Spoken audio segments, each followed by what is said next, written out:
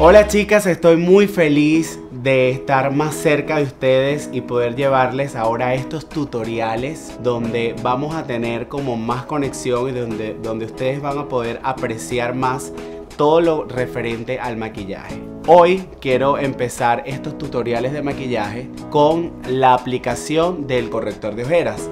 Sabemos que el corrector de ojeras es una de las herramientas más utilizadas por las mujeres Además es el primer paso del maquillaje. Existen varios tipos de correctores y yo a continuación les voy a mostrar cuáles son. Tenemos este tipo de correctores que viene en esta presentación que lo puedes aplicar con un pincel especial para corrector o con la yema de los dedos. Luego tenemos este tipo de corrector que es el que más yo recomiendo para el diario porque es un poco más fluido estos que son más cremosos son un poco más densos y los puedes usar de noche.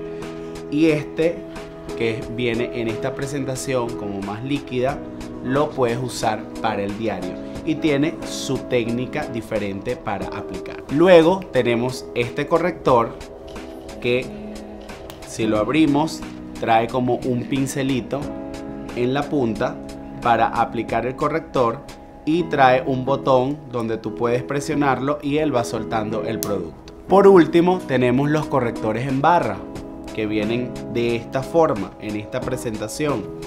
Este tipo de correctores también los puedes aplicar directamente sobre la piel y luego lo que vas a hacer es difuminarlo. A continuación yo les voy a mostrar cómo pueden trabajar con este tipo de correctores cada uno de ellos para que ustedes lo puedan poner en práctica en sus hogares. Para trabajar este tipo de correctores que vienen en esta presentación, vamos a agarrar el producto con un pincel y vamos a aplicarlo en todo el párpado inferior con toquecitos, chicas. Es importante que ustedes vayan aplicándolo en esta forma porque si lo aplican barriendo o corriendo el producto, que es normalmente lo que ustedes hacen, la aplicación no va a quedar igual y lo que van a hacer es quitar el producto. ¿Ok? Esta es una forma de aplicar el corrector con pincel. Este es un pincel adecuado que es para el corrector de ojeras. Lo vamos a hacer en forma de triángulo y lo vamos a llegar, la punta del triángulo debe llegar hasta lo que es la aleta de la nariz, hasta esta altura. Y en el ángulo externo lo vamos a sacar un poquito más como hasta el final de las cejas.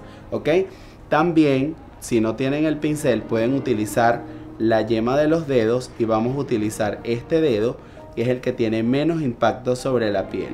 Lo importante de esto es aplicarlo de esta forma y, difuminar, y, difuminarlo de igual forma para que quede uniforme y para que se adhiera mejor a la piel. Vamos a trabajar ahora con este tipo de correctores en barra que lo pueden aplicar directamente sobre la piel. Lo aplican de esta forma, pueden hacer un triángulo y luego que tengan el triángulo dibujado, ya les, se acuerdan que le dije que es hasta esta altura, vamos a difuminarlo o a compactarlo más de la piel con la yema de los dedos para que su apariencia se vea más uniforme. Recuerden que el secreto del corrector está en aplicarlo de esta forma con toquecitos para que él se adhiera mejor a la piel y además para que pueda cubrir la ojera. Porque si hacen este movimiento, se los repito, van a quitar el producto y el producto tenemos que depositarlo y aplicarlo sobre la piel.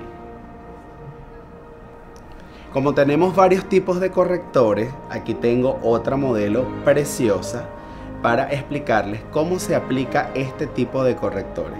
Este tipo de correctores yo los recomiendo mucho para el diario porque son menos pesados y menos densos. Entonces, lo más importante es aplicarlo en forma de puntos hacemos todos los puntitos como un triángulo sin miedo. Aquí se tienen que quitar el miedo de aplicar el producto porque si no aplican una cantidad suficiente de corrector, entonces no les va a cubrir. Y luego, con la yema de los dedos o con el pincel que les mostré en principio, pueden compactarlo de la piel y degradarlo para que él pueda cumplir su, su función de cubrir las ojeras. Además el corrector debería ser dos o tres tonos más claro que el tono de la piel para que además de cubrir las ojeras les haga un efecto iluminador en el rostro. Por último, chicas, porque sé que ustedes tienen o pueden adquirir cualquiera de estos modelos de correctores, voy a explicarles cómo se usa el que tiene la punta de esta forma. También pueden aplicarlo como puntos o tan sencillo como aplicarlo directamente en el rostro y hacer la forma del triángulo para cubrir las ojeras. Recuerden, tienen que perder el miedo a aplicar el producto y luego unificamos y compactamos. Este es el secreto del corrector. Como lo han visto en las diferentes estilos y técnicas de aplicar, siempre vamos a terminar con este movimiento para poder compactarlo y para que pueda cubrir sin ningún problema.